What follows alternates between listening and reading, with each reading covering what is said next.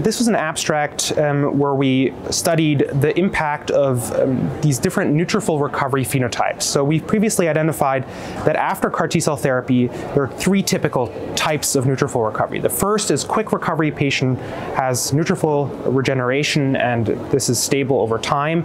And there's this intermittent or biphasic course where patients have neutrophil recovery and then they have these recurrent neutrophil dips. And finally, um, there's the aplastic phenotype, which is characterized by severe uh, neutropenia over 14 days. Um, and in this study, we analyzed, or we really sought to understand what is the pathophysiology of hematological toxicity.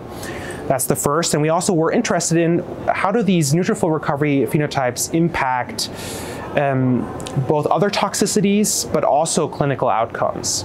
And interestingly, we find that patients that have these recurrent neutrophil dips, these, this biphasic neutrophil recovery, they actually have the best survival outcomes in patient in this large cohort, about 344 patients with relapse refractory LBCL. Um, it was actually even better than the patients that had rapid recovery.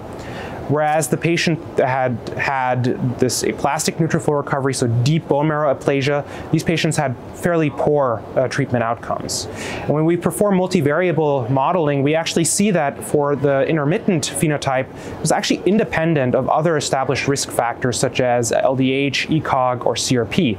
However, the risk um, in the aplastic phenotype was actually attenuated when we account for these other factors.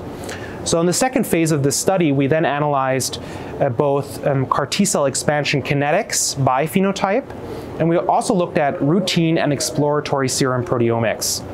And when we look at now um, the CAR T cell expansion kinetics, we find that this intermittent phenotype, recurrent neutrophil dips, these patients actually had a higher area under the CAR T cell expansion curve, so they had more pronounced expansion.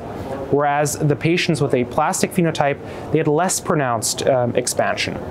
I think what's always really important is setting how do we compare expansion to baseline tumor load. And so what we did there is we studied um, what was the expansion in relation to baseline tumor load. And we found that the aplastic patients while they may even have expansion, it's really, they also have uh, high uh, LDH levels, high ferritin at baseline. So they have an unfavorable relation of CAR expansion to tumor load. Whereas the intermittent patients, they had a favorable relation of expansion to baseline tumor load. Um, and so I think that that's, uh, that's an interesting finding of this study.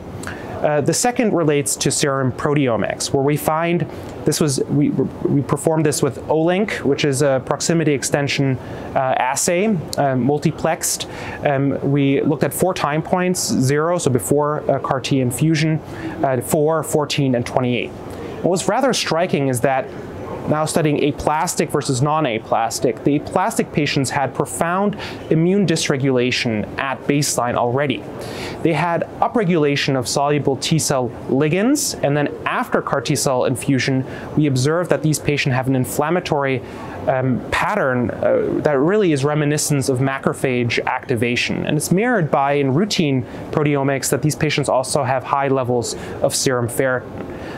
Um, these patients also have profound endothelial and angiogenetic dysfunction over time, and this was actually progressive. So between day four and 28 was increasing. So I think that these results have important implications for understanding that hematological toxicity needs to be understood not only in a quantitative sense, but also in terms of qualitative differences that are really distinct. Um, this implies also that when we think about management strategies, we have to think be, or be cognizant of the fact that the underlying mechanisms may be very different between the different um, neutrophil recovery phenotypes. Finally, I think what this highlights is that um, these patients um, the neutrophil recovery phenotypes really they have clinically profound uh, implications. The patients that have these recurrent neutrophil uh, dips have better outcomes, which I think suggests that there are really important links between host hematopoiesis uh, and perhaps CAR T cell function and efficacy.